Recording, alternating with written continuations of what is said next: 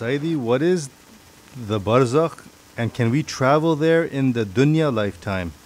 Jazakallah khairun, dear Sayyidi, you changed my life. Allah bless you. Barzakh is the world of light or the world of the grave. Travel there, you can I don't know if there's a travelling there for, for normal people but uh, to witness one's own grave is important. That to meditate and contemplate at times and asking Allah that make this to be my grave and that let me to clean my grave and my station within the grave. And again at Ramadan the last 10 days at Kum Nar is again a meditation time for that reality.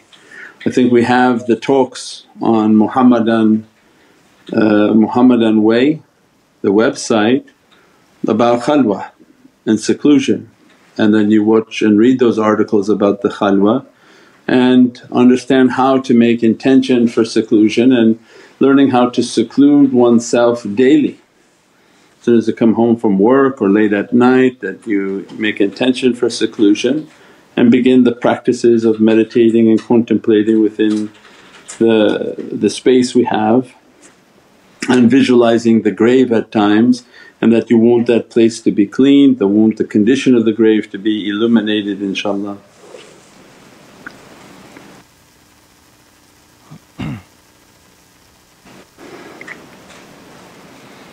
Uh, As-salamu alaykum Sayyidi. Wa alaykum salam Sayyidi, I tend to be interested in world history but there was some heartache about World War I and World War II. How can one use an interest like this to serve the tariqah? Have an interest in world history and how to serve the tariqah with the, the interest in, in world history is to know that whatever we learned in world history is incorrect and that history is actually his H-I-S story S-T-O-R-Y. So we haven't come across a history story that is correct. You go to one country and they, they say that the Indians were in the way and we got rid of them and they were attacking us. Go to the other side of the street and ask the Indians what they felt about you when you came here. Yeah. Assalamu alaikum wa rahmatullahi wa barakatuh. This is Shaykh Nurjan. Thank you for watching the video that you're watching. Inshallah if you're happy with the content and happy with these programs please support the button below the programs that we have for our orphanage repairs, our water well, give the gift of life, our mobile food vans. We have now five vans Vancouver, Chicago, Los Angeles, Pakistan. There's many programs that reach thousands of people and rescue foods and give those supplies to people in need. Your support is greatly appreciated. Also, be so kind as to leave uh, loving comments and please share the stream. Every bit counts. Assalamu alaikum wa rahmatullahi wa barakatuh.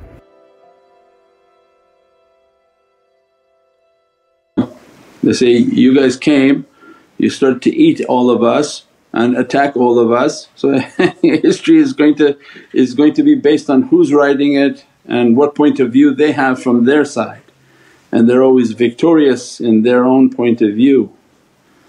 So I, I didn't put too much understanding upon history and the most important history is from At-Tabari, Islamic history and the haqqaiqs and realities think Muhammad Jabbar Tabari, Tabari is the sort of chronological documentation of Islamic history from the Islamic perspective of all the Prophets of Allah from the beginning of the creation of Nur Muhammad all the way until the, the risalat of Sayyidina Muhammad So that type of history of Islamic history has to do and from the Islamic perspective has to do with a very correct understanding of the heavenly kingdom and what Allah has sent from the heavenly kingdom.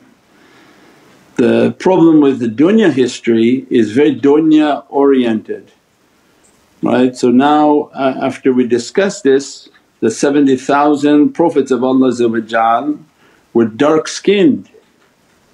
Where's that written? In none of their history they talk about this reality. So what, what, what of their history are we to, to understand and, and to document as a truth? So as soon as we study things that are not truthful and how to discern or discern the truth is itself its own job that you have to spend lifetimes reading through all their things, uh, re-verify everything they said. For what? It's a waste of time because the dunya is dying. So our path to illumination is through the heavenly realities. That's why anyone who likes academia and studying, go to Muhammadan way and choose a section on huruf, choose a, a, reality on, on the meditation, tafakkur or, or any of the realities that are being taught, read sort of enthusiastically and immerse yourself in those realities. Those realities if you study just a little bit of them they have an eternal fountain that will illuminate the heart for all of eternity. Now this Indian came and, and that cowboy did this has nothing for us in paradise, nothing. As a matter of fact you become more confused, they didn't even go to the moon. So what, what do you want to, to read about and put all your faith in? So for us if we spend the time that we have and illuminate ourselves towards heavenly teachings they can eternally blossom fruits within our soul because you die with that knowledge. And every time you pick up and begin just to read one, two lines of it, Allah's expanding it when you sleep. So why spend the time on something that has no value, not for your eternal value and not for your dunya because your dunya will be confused. Whatever these people taught was very confusing, none of it real. And anything we study from the reality it eternally blossoms within the soul and our eternal journey, we take it with us when we go inshaAllah.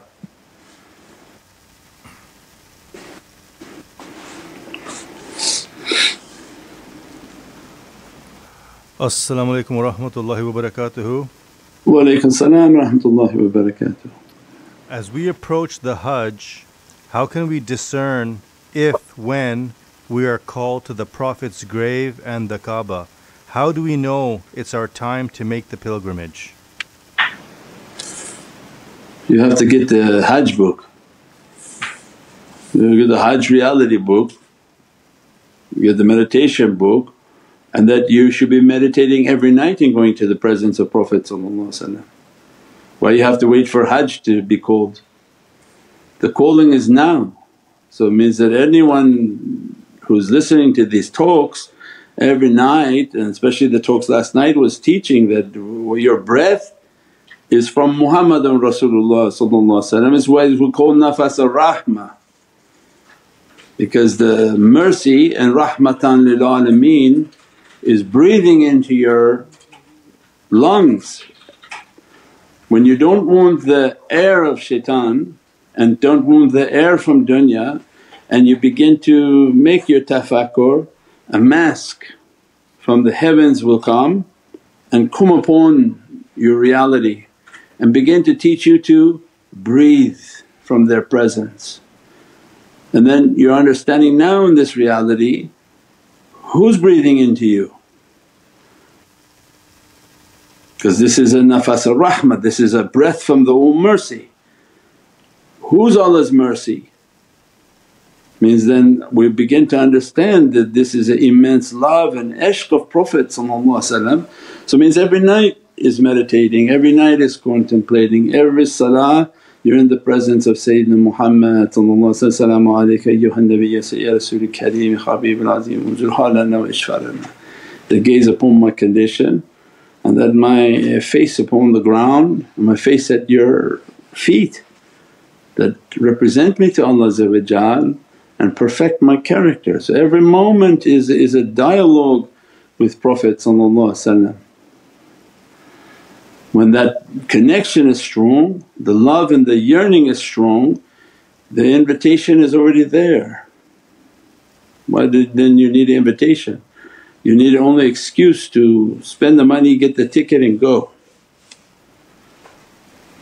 So it's already there, you go.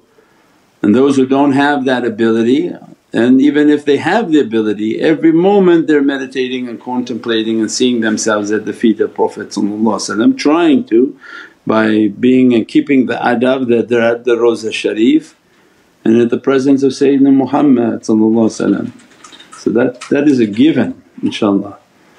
They don't need a, a special invitation.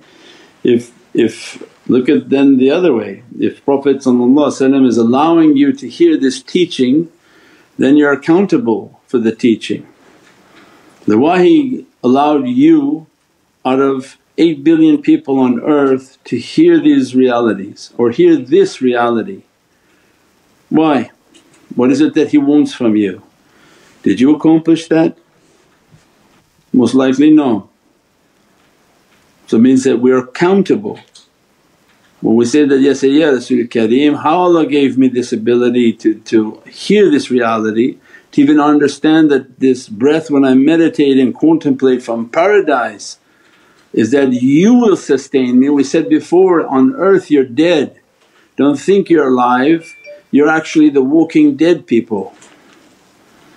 And if this earth could be understood is like a pool.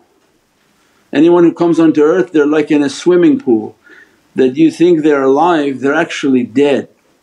Only when they die in that pool will Prophet come and revive them.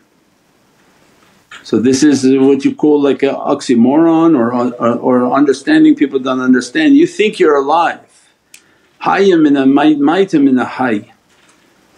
That there's a, a, a, a, a deception happening you think you're alive, you say, no I'm alive. You say, no you're actually very much dead because if you were alive you would have been alive. Maut qabla al maut. Only by the time we surrender and die in this physical world means we lose the desire, we meditate, contemplate, the yearning overtakes.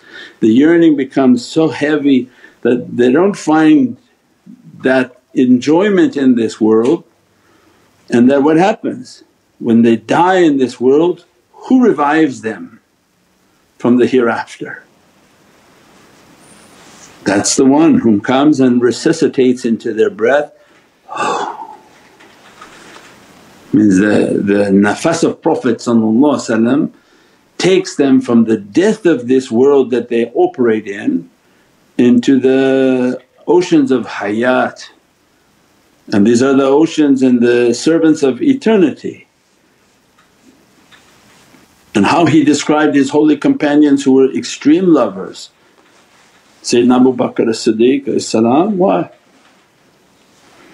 That his look at Sayyidina Abu Bakr as-Siddiq the one whom died before he died.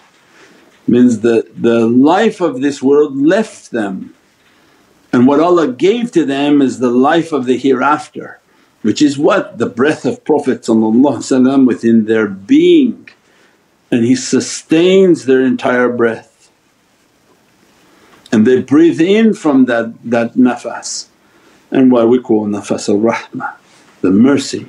The most merciful breath that Allah can send to creation is from the breath of Prophet in which every knowledge, every reality, every hayat, everything within it is sustaining in that reality.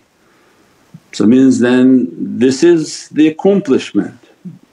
Allah gave us this by just tuning into this channel, by following this shaykh, by understanding from these knowledges then Allah is going to ask and hold us to account that, what did you do with it? When you knew that your breath and the potential breath that would sustain you would be from Muhammadun Rasulullah did you try to achieve it? Which you meditate so much and contemplate and, Ya Rabbi I don't anything from this, I die from this. It doesn't mean you don't have anything, you may have everything on earth but none of them compared to anything to the presence of Allah and the presence of Sayyidina Muhammad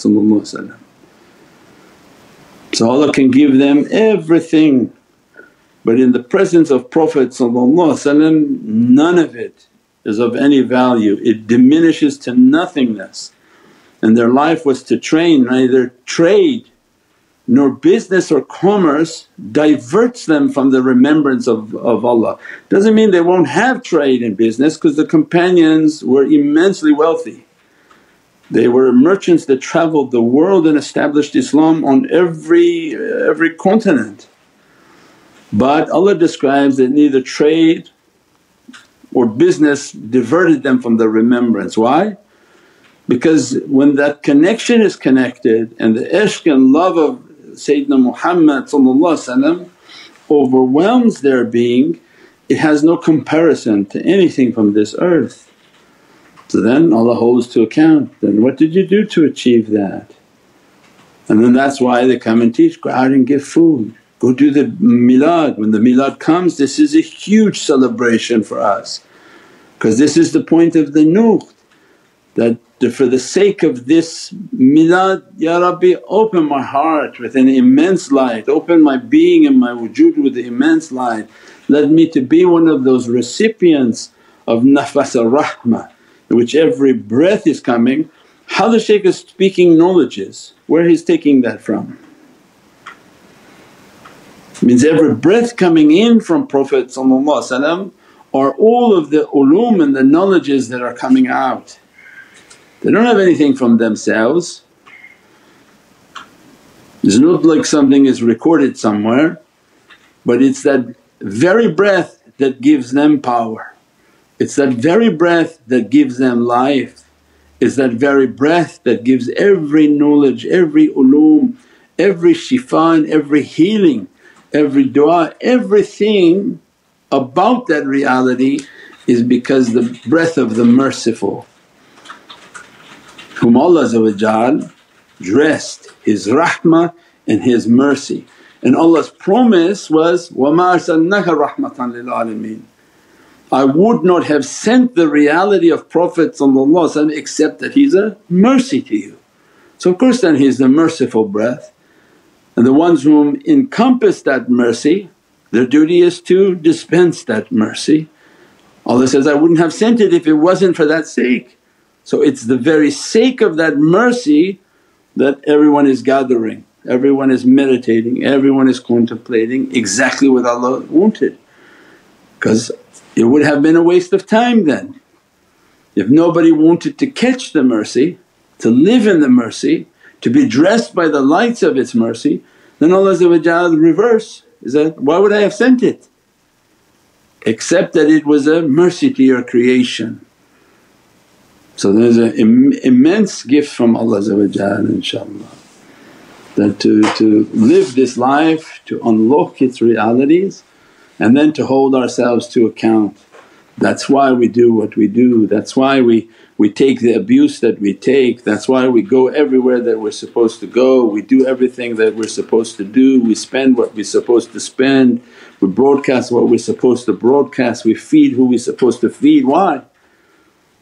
So the merciful eyes and the merciful breath, unzur halana, unzur halana ishfalana that please with your beatific face, Ya wajhikal kareem that gaze upon me and that intercede for my condition, my hal, unzur halana that you see my hal and my state and that you can only fix my condition.